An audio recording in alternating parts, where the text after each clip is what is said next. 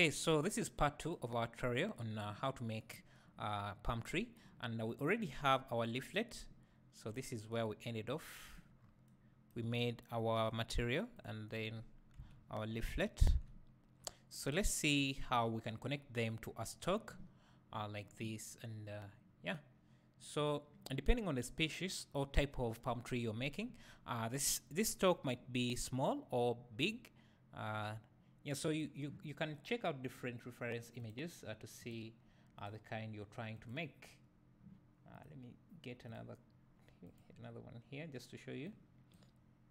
So you can see there is this here, and I think we're going to we're going for this kind of uh, leaf here.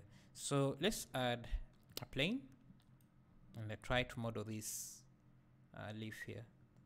Scale this down, all this stalk and so this is going to be a bit lengthy so maybe something like that. Scale uh, the top part and uh, add a few loops in here. Select a loop around there turn on proportional editing and then scale it. Maybe just first scale this down and then scale. Now select this and extrude so this bottom part as you can see becomes really big. So something like this. And uh, you can extrude it down.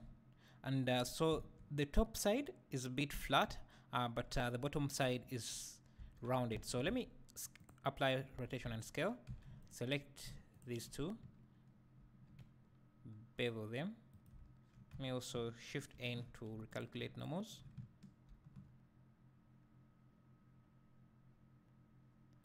you know what? Instead of doing that I'll just slide them.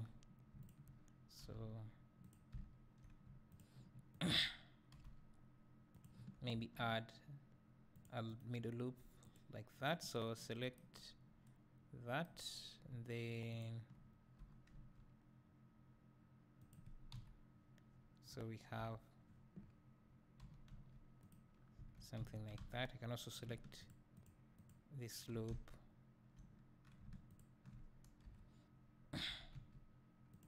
And again the same way uh, there's it's smaller it makes a curve like this. So let's do that. Turn on proportional editing and then scale in the z axis.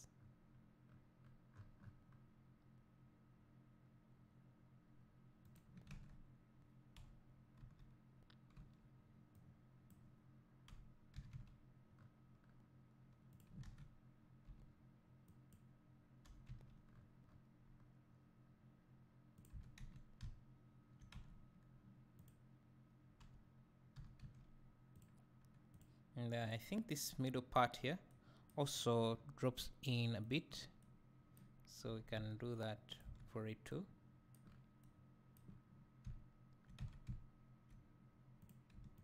So it's going to depend on you how detailed you want to be with this but uh,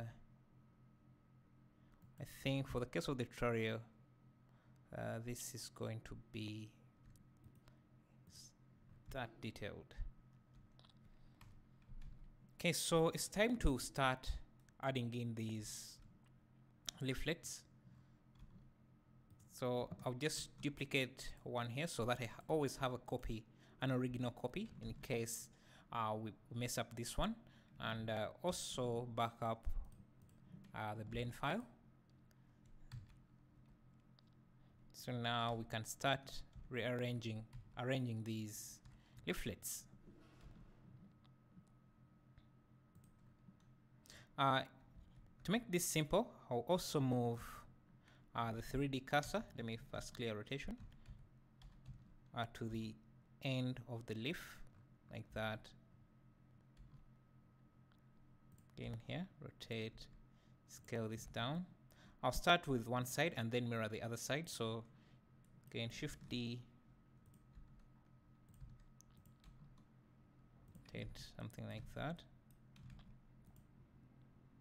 and uh, you can see these are going to be really flat. Uh, I think we, we can use the lattice to bend them uh, down like that. Like in the same way these are, are bent. So I'll just continue duplicating these a few times.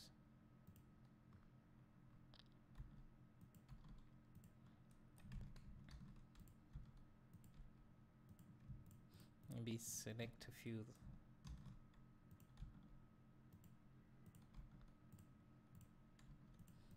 also make sure to scale them a bit to get that shape that you see there.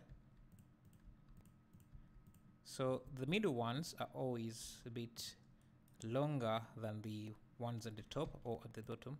So I'll select a few like this shift D rotate. They don't always have to start from the stock uh, because uh, the camera won't be seeing that that far. Unless you're going to render close-ups.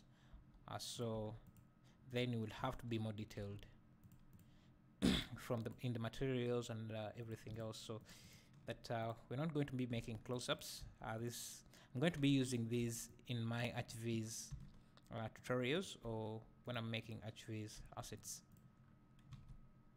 So you can see that uh, this is coming together now. It's uh, don't worry when they intersect like that uh, because we'll come back and uh, fix that later so a few like that. So you can even select these here. Shift D.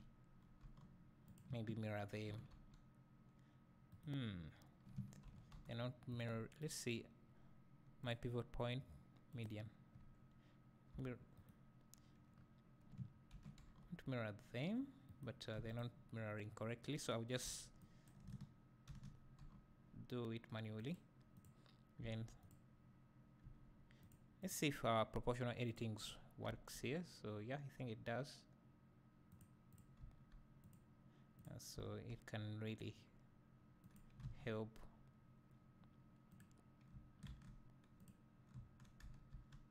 Uh, let's turn it off for a second shift D and uh, we have uh, that done. So if we go to shading right now you can see this is what we we have. Uh, the problem is that uh, it's it's just a flat surface. Let's try giving this the same material. I don't think it works. So this was called leaves. I think it it is okay for now. Maybe let's UV unwrap it. Control E mark seam.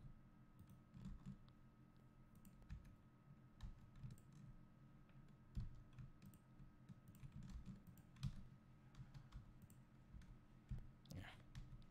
I think that's okay. And uh, we can come back to layout. Uh, in the next tutorial, I'll show you how to bend these so that uh, they are falling down uh, like you see in here.